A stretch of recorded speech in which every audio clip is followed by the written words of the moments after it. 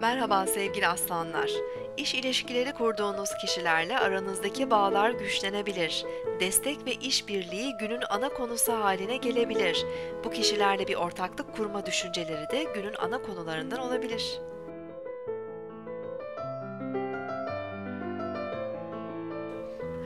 Bugün 25 Nisan 2014 Cuma, Venüs günündeyiz.